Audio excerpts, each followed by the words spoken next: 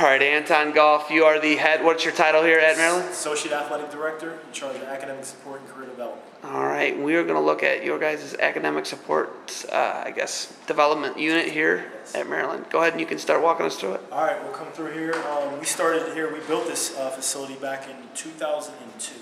Um, so this is not old, but not brand new, and so pretty proud of what we've got. Um, as you'll see, you come in here, we've got uh, facilities for uh, student athletes for all 27 sports. Um, 20, 26 of them use this facility. Football uses a different facility, but football is free to use this one, and our student athletes, if they're on campus, can also use footballs, and footballs is similar to this uh, facility here.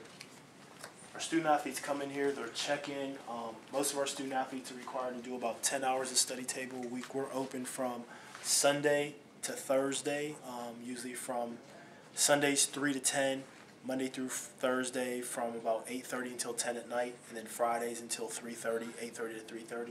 If you look in here, you'll see that, um, and we can go in here. Let's just, let's just go in here so you can see it better instead of glass. Coming through here, you'll see that this is part of our study table area and computer lab.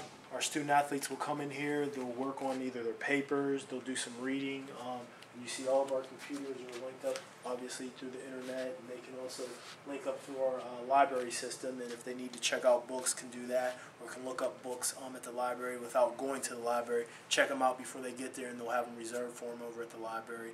Um, they'll come in here. This is usually kept a quiet area. Most of the traffic comes through here in the evenings from 6 to about 10 o'clock in the evening because most of our student athletes, their day consists of going to class during the day, practice in the evening, then uh, late evening they'll come in and get their studying done, and hopefully they go and go to sleep after that. Okay, you guys put uh, kind of an interesting statistic. You guys put a lot of resources into uh, academics for your athletes. How comparatively would that be to like other major universities? Um, in the ACC, we are ranked first as far as our budget wise. We're about at $1.5 million as far as our budget we put in academic support, and career development, and then we've got about 15 full time uh, people that work with our close to 700 student athletes. Um, nation, na- nationally, that ranks in the top 10% with uh, all the academic supports throughout the country. So we, we really make a commitment, our athletic director makes a commitment to our academic support of our student athletes because for us, if we've got a choice between a student athlete being an All American for four years or a graduate, we're going to pick the graduate every time because an All American is just four years. But here we're trying to do both. We want our student athletes to do great on the mat or, or, or on the field or on the court, but also great in the classroom also. And that's the commitment that we have, and that's the commitment that our uh, coaches have also. And we have a great working relationship with our coaches on that matter. What would you say that you may do different or the same as uh, other uh, highly successful universities? Uh, I think highly successful uh, universities do some of the same things. Uh, some of the things that we'll do is we'll make sure we're meeting with our student athletes to help them with the transition. Um, and not just our struggling student athletes, but our high achieving student athletes. Because sometimes I think some institutions forget about the high achieving student athlete. They focus their attention on those guys or, or females trying to get eligible. But we feel like we've got a, a program for all of our student athletes. Um, and then also, I think that one of the things we do, we have a great life skills program.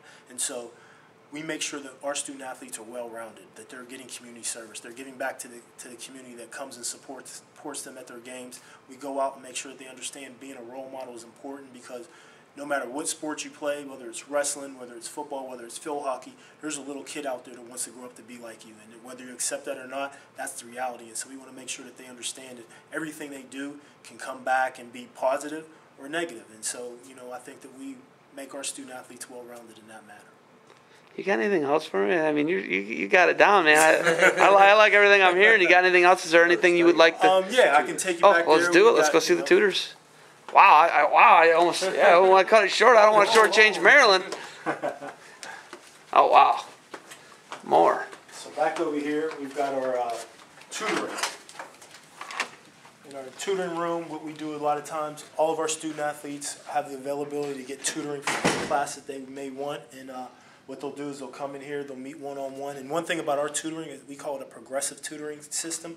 What you try to do is at the beginning of the semester, give our student athletes tutors. And what we'll, what we'll do is we'll make sure that they're, they meet with their um, tutors at least once a week for the entire semester, as opposed to maybe right before a test or something like that. Because to me, I would rather them have something to do working on their classes progressively as opposed to just once, maybe three times, because then the tutor gets to know them, understands their learning styles, things of that nature, and can also tutor them better as opposed to only meeting them three times as opposed to at least 15 times.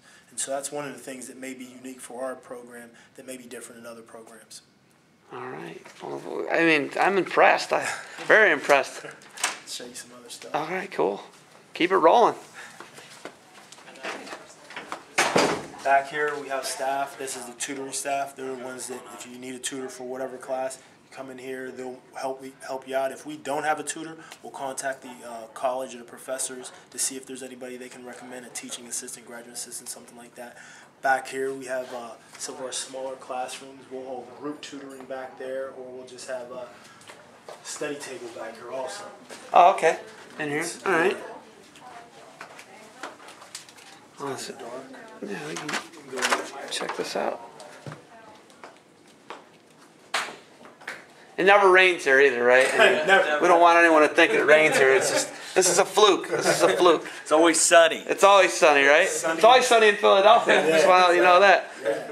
Wow. So you guys have I, I can clearly see you guys do put a lot into the Yeah. the uh, effort here. And is this uh, if you're gonna get a tutor, would you have to schedule it or could you walk in? You could we we do both. Um, we have walk-in tutors for some of our basic like English, math, something like that. But most of the tutor is specific um, to that subject or that class, and it's one-on-one, so you can have that one-on-one time where you can ask your tutor different questions.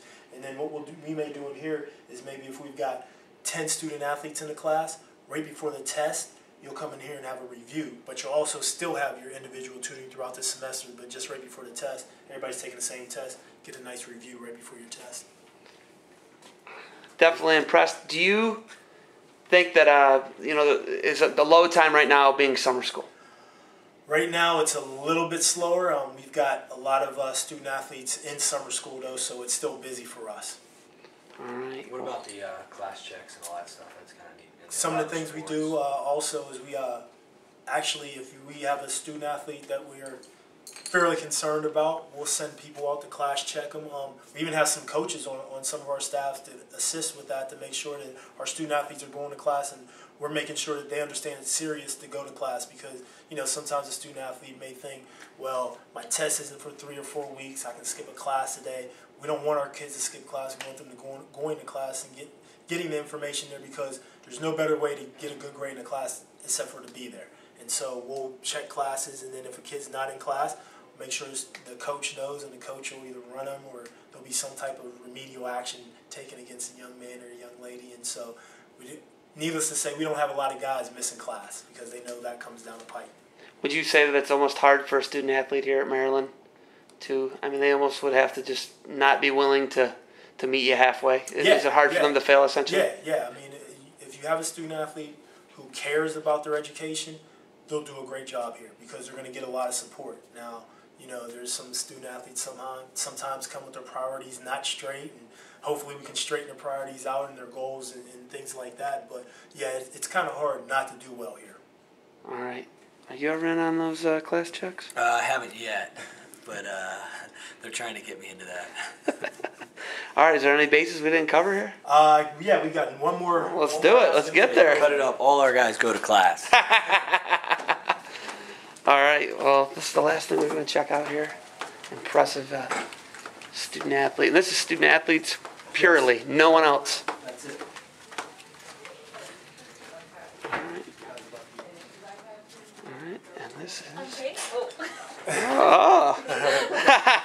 All right. What do we have here? In here, this is our individual learning program room. Any of our student athletes who need that one-on-one attention from one of our learning specialists comes in here and works with our uh, our learning specialists on things like time management, um, organizational skills, test-taking strategies, things of that nature. And so they can come here and get the one-on-one attention that they need to be successful here at University of Maryland. So this is the last aspect of our program. Hope you guys enjoyed this, and if there's any questions or anything, visit our website, umterps.com, and you can uh, look up the wrestling program or you can look up academic support, and feel free to contact and we uh, will answer any questions you guys have out there.